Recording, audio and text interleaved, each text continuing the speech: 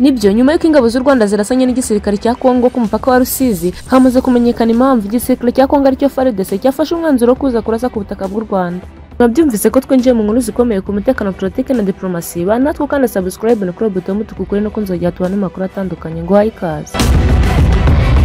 Aya makuru yatangajwe n'igisirikare cy'u Rwanda cyatangaje ko mu rukera rwo kuwa gatatu abasirikare ba Kongo bari ba FARDC binjiye ku butaka butagira nyirabwo ku mupaka w'ibihugu byombi Rusizi. Karasa ku mupaka w'u Rwanda abasirikare b'u Rwanda bakabasubiza bagahita basubira inyuma bagasubira mu gihugu cyabo.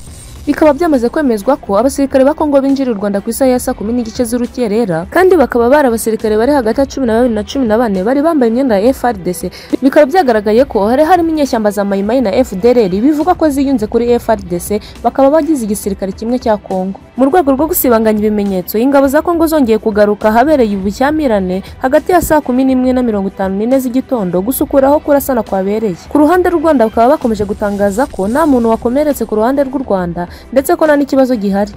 Ariko ngo ku ruhande rwa FARDC hari abasirikare bagizweho ingaruka no gukozanyaho kw'amasasu ku bihugu byombi. Bikaba byagaragaye ko iki gitero cyari cyarateguwe kuko hari hashize iminsi itatu habaye inama zakorwaga mu bwihisho harimo ingabo za FARDC zifatanyije n'imitwe yitwaje intwaro bikorana bashyigikiwe n'abayobozi muri guverinoma ya leta. Nyuma y'inama yaberaga i Kamanyora habaye imyigaragambyo yakozwe na sosiyete sivile muri Kivu y'Amajyaruguru ifatanyijwe na sosiyete sivile muri Kivu y'Amajyepfo. Muri iyi myigaragambyo bamaganaga leta y'u Rwanda n'ingabo za EAC iyi myigaragambyo kandi byagaragaye ko ishyigikiwe n'ubuyobozi bwite bwa leta. Ku rundi ruhande kandi kongo ikomeje guhakana ko ingabo zabo zitigeze zirasa ku gisirikare cy'u rwanda. Ibi byakomeje gushimangirwa na guverineri w'intara ya kivu y'epfo wakomeje avuga ko ahubwo ingabo z'u rwanda zateye igihugu cya kongo zinyuze mu nyeshyamba za m23 yongeraho ko ibi byose ari urwitwazo rwo kugira ngo babajijishe. Ibi kandi si ubwa mbere ingabo za leta ya kongo zibikoze kuko rdf ibyita urwiyenzo ndetse ingabo za leta y'u rwanda zigasohora n'itangazo ryamagana ibyo bikorwa nk'uko babigenje uyu munsi. Nanone kandi leta y'u rwanda nyuma yo gutanga ibimenyetso simusiga byemeza neza ko iki igitero cyagabwe cyari cyarateguwe. Irasaba umuryango w'abibumbye ushinzwe iperereza ku bitero nk'ibi ngibi gukora iperereza rirambuye igendeye ku ibyo bimenyetso nanone kandi ku rundi ruhande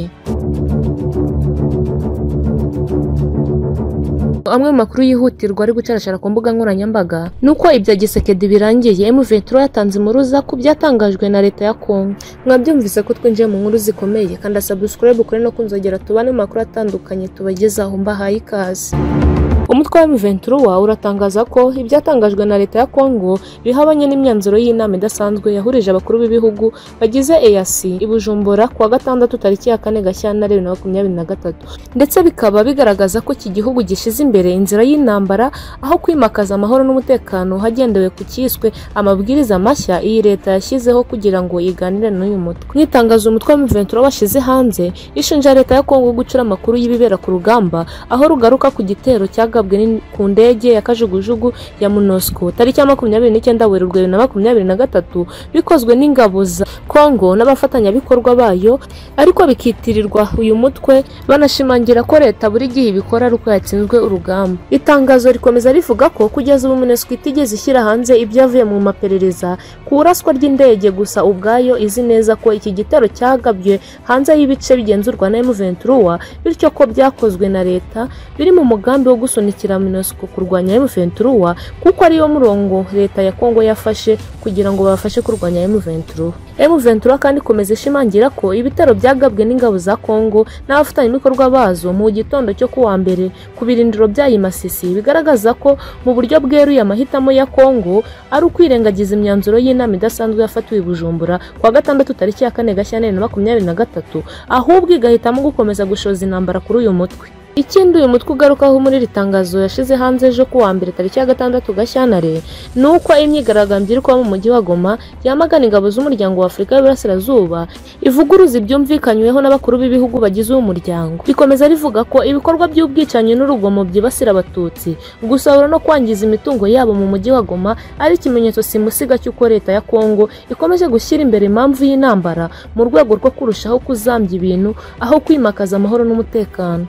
Ni mu gihe umuvugizi wa guverinoma ya Kongo Patrick Muyaya yatangaje ko leta ya Kongo idateze kuganira n'umutwe wa M23 niba utubahirije amasezerano y'u Rwanda kandi ko ari ibintu bizasuzumwa ari uko uyu mutwe wubahirije ibyo usabwa imyanzuro y'inama idasanzwe ya EAC yabereye i Burundi tariki ya kane Gashyantare ivuga ko imitwe ihanganye muri Kongo igomba guhita ihagarika imirwano. Imitwe y'abanyamahanga iri ku butaka bw'iki gihugu ikahava igasubira iwabo. Iyo nama kandi yavuze ko aya makimbirane ari ikibazo cy'akarere cyakemurwa gusa mu buryo burambuye mu nzira ya politike kandi ishimangira ko hakenewe ibiganiro hagati y'impande zose.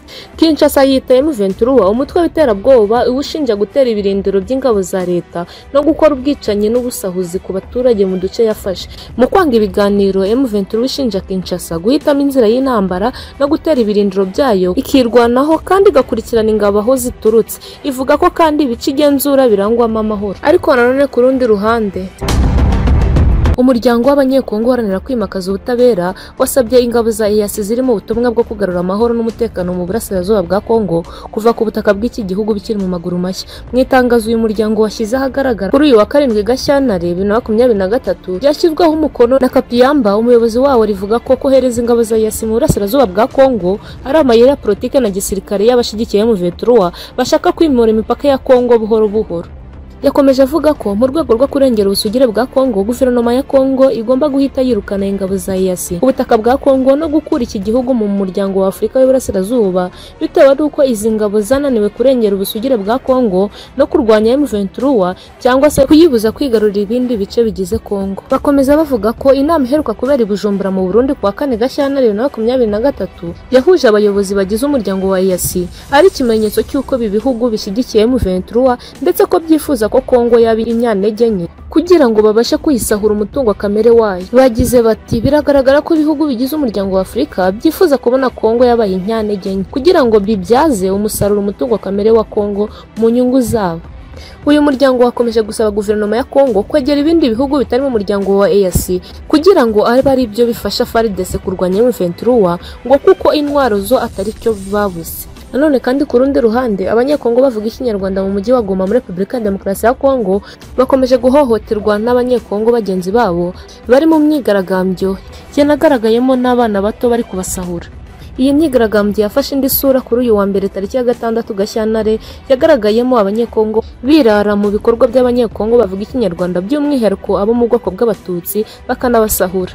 Hari n'urusengero kandi rusengerwamo abiganjemo abanyekongo bavuga ikinyarwanda rwasahuye ku buryo abarwibagabije bahereye ku ntebe zo kwicaraho kugeza ku mabati yararusakaye. Kuri uyu wa kabiri kandi tariki ya karindwi Gashyantare hagaragaye amashusho y'abana bato bibumbiye mu itsinda ridasanzwe bagaragaye bari gusahura urugo rw'abanyekongo bavuga ikinyarwanda. Aba bana bagaragara muri aya mashusho bari kwinjira mu rugo rumwe bagasohora ibyo basanzemo byiganjemo ibyo kurya n'ibindi bikoresho by'ibanze. Guhaye ikaze. Guverinoma ya repubulika ya demokarasi ya kongo yigaramye imyanzuro y'inama iherutse kubera i burundi yahuje abakuru b'ibihugu by'umuryango wa afurika y'iburasirazuba yerura ko idateze kuganira na M23 ni intero kongo yazamuye mu gutesha agaciro imyanzuro y'inama idasanzwe y'abakuru b'ibihugu bya EAC yabaye mu cyumweru gishize yanzuye ko ibibazo by'umutekano muke mu burasirazuba bwayo bizakemurwa n'igisubizo cya politike aho kuba intambara.